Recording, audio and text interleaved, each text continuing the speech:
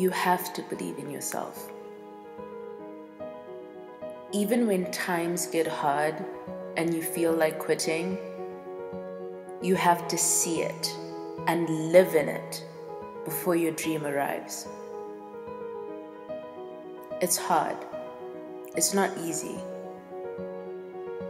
You have to be prepared for the judgment and be ready to lose people.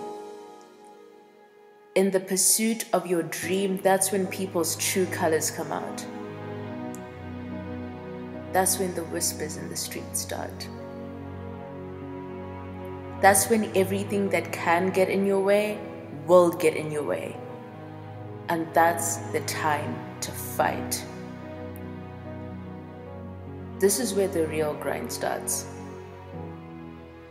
Stay in your light. Don't get disheartened. Believe in yourself.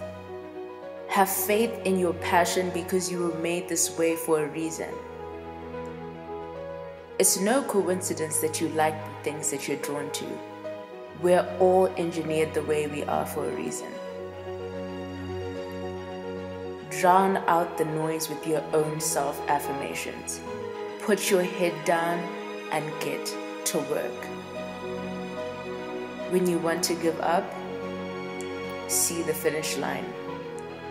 When you want to give up, remember why you started when you want to give up, remember that the only real failure is the man who quit.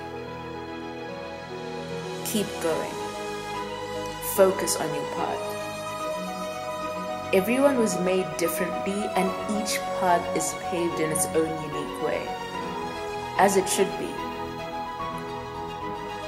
There's a light at the end of this tunnel. So keep feeding that fire inside your belly and keep pushing. You'll reach the finish line and you'll reach it in time. In your time. In the perfect time.